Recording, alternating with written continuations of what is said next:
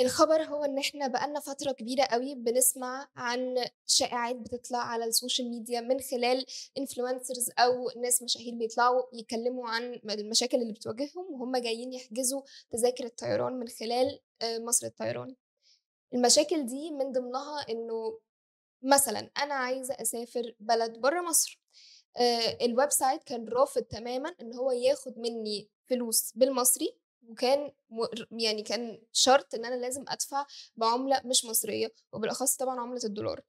الناس كلها قامت وقفت على الخبر ده وإزاي ده يحصل؟ وصعب جدا بالذات إن الواحد يكون عنده دولار في إيده أصلا شيء صعب. فما بالك إن أنت تدفع تذكرة طيران بالدولار وكانت سعرها تقريبا 250 دولار. الناس كلها يعني they voiced out their concerns على الإنترنت والناس كلها هاجمت شركة مصر للطيران بشكل كبير جدا.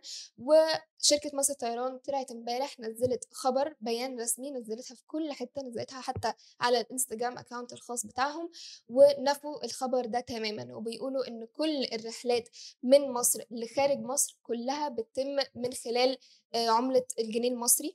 ومفيش أي كلام يعني كلام اللي هو الدولار وإن لازم العمله اجنبيه وكده الكلام ده مش صحيح تماما آه، ونفوه اطلاقا يعني. بس مستنيين لسه نشوف ردود الأفعال بتاعت الناس إيه آه، والناس اللي طلعت قالت إن هي واجهتها صعوبات أو مشاكل وهم جايين يحجزوا التذكرة دي رد فعلهم إيه دلوقتي أو إيه يعني إيه اللي حصل بقى بعد كده؟ مستنيين إن إحنا نشوف الأخبار دي تطلع بعد كده كمان. بس في حاجة تانية خبرين تانيين آه، مصر الطيران نزلتها. أول حاجة وهي بتقول اي كوت عدم إصدار أي تذكرة من داخل جمهورية مصر العربية للرحلات التي تبدأ من خارج الجمهورية. الخبر آه، يعني عمل كده شوية آه، أسئلة ما بين الناس هل ده معناه إن أنا لو أنا مسافر مثلا بلد بره وعايزه إن أنا أحجز تذكرتي ذهاب وعودة هل أنا مش هقدر أحجز التذكرة العودة؟ من ولا- مصر للطيران. من مصر للطيران؟ ولا الموضوع إن أنا مثلا أحجز تذكرتي من مصر لحد جاي من بره ما أقدرش أحجزها لو أنا في مصر؟ فالبيان كده كان فيه شوية تساؤلات كتيرة جدا الناس لسه مش قادرة إن هي تفهمه بالظبط بس إحنا مستنيين برضو مصر الطيران إن هي تطلع وتوضح البيان الرسمي بتاعها ده أو تتكلم من خلال أي يعني جريدة صحفية أو كده.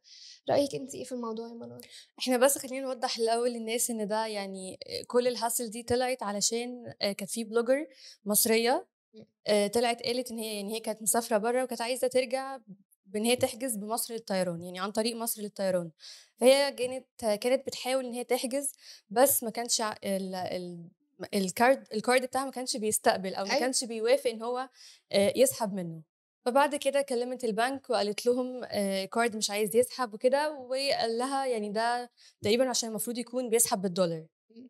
فكل ال hassle دي حصلت وبعد كده آه، مصر للطيران طلعت ردت وقالت في البيان بتاعها إن هي لأ الكلام ده غير صحيح إحنا ب... مش بنسحب بالدولار ولا حاجة. فواضح إن ده كان misunderstanding برضو من البنك نفسه. متهيألي برضو. وبعدين بالأخص إن هي قالت إن تذكرة الطيران كانت تقريبا 250 دولار. فده يعني it's huge number مبلغ كبير قوي. أكيد.